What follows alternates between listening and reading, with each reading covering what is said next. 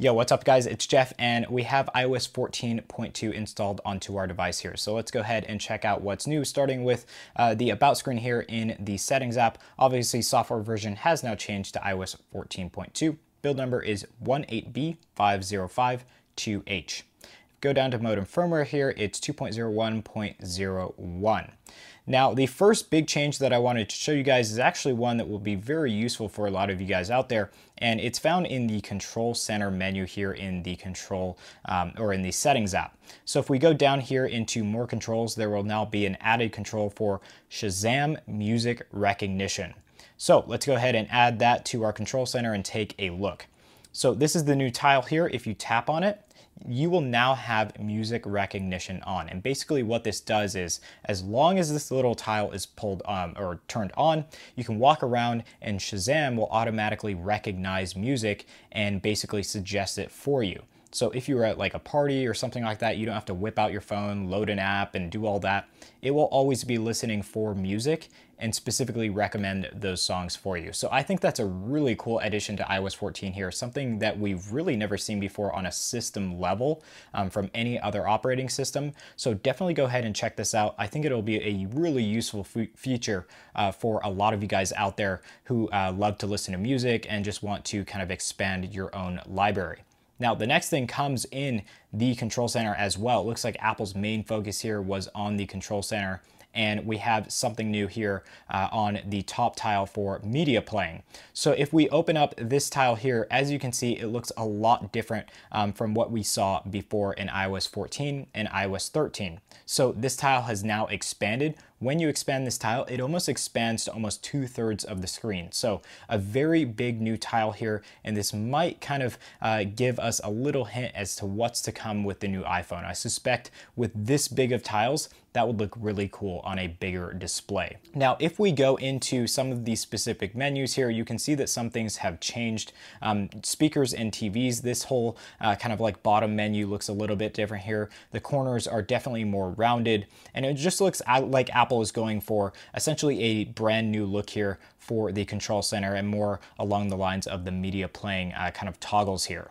Now, if I were to go ahead and start playing a song, um, this also reflects on the lock screen. So I'll go ahead, lock my device here very quickly, turn that back on, and you can see that it looks very different here on the lock screen as well as far as music playing. So what I notice is that this UI here uh, for the uh, song uh, like album artwork is essentially bigger, but it also shows where it's coming from. It showed that before, but it was all in the information tab up here, and this actually so shows which app is playing this song song. So that's really cool, a really cool addition there. Um, just a very small detail that Apple wanted to put in there. And then obviously um, this change here is a little bit different from what you see in the control center, but also different from what we were seeing previously. So I really like that Apple is kind of maintaining um, different looks across the UI experience here. And um, yeah, that continues on to the lock screen.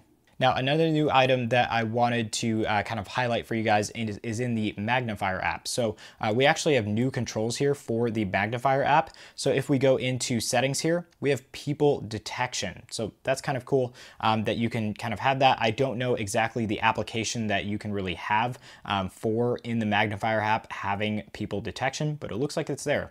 Um, I'd be curious to know uh, what good that would do you. Um, but yeah, it is there. That is something new within iOS 14. Um, so you can go ahead and add that into your secondary controls for the magnifier app. So if I wanted that, those controls are down here on the bottom. Um, so if I wanted to, uh, let's say, um, look for a specific person, I could go ahead and do that um, should I uh, see a person or something like that. Um, that's very interesting. I don't know why that's in the magnifier app specifically, um, but it is there and it is a new feature within iOS 14.2. So guys, that was about it for new features and changes. I just wanted to touch up on like speed and performance for iOS 14.2.